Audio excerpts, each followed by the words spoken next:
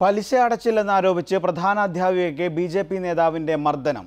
ബംഗളൂരുവിലെ B J P നേതാവ് രാമകൃഷ്ണപ്പയാണ് അധ്യാപികയായ ആശാ റാവുവിനെ സ്കൂളിലെത്തി മുഖത്തടിച്ചത്. സി സി ടി വി ക്യാമറയിൽ കുടുങ്ങിയ രാമകൃഷ്ണപ്പ അധ്യാപികയുടെ പരാതിയിൽ അറസ്റ്റിലായി.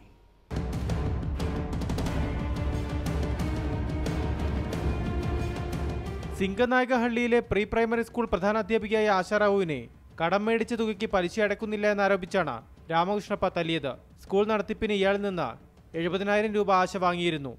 പത്ത് ശതമാനമായിരുന്നു പലിശ. കഴിഞ്ഞ നാലു മാസമായി അടവ് മുടങ്ങി.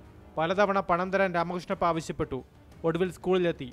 ആശയുടെ മുറിയിലെത്തിയ ഇയാൾ അധ്യാപികയോട് ആദ്യം കയർത്തു സംസാരിച്ചു. കൂടുതൽ പ്രകോപിതനായി പൊടുന്നനെ ആശയുടെ മുഖത്തടിക്കുകയായിരുന്നു.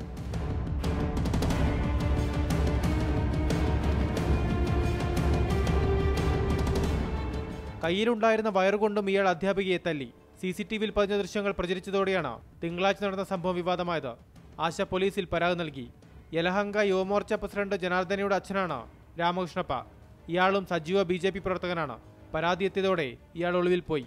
മകൻ ജനാർദ്ദനയെ പോലീസ് ചോദ്യം ചെയ്തു. രണ്ട് ദിവസത്തിന് ശേഷം ബംഗളൂരുവിൽ വെച്ചു തന്നെ രാമകൃഷ്ണപ്പ പിടിയിലായി. ഏഷ്യാനെറ്റ് ന്യൂസ് ബംഗളൂരു.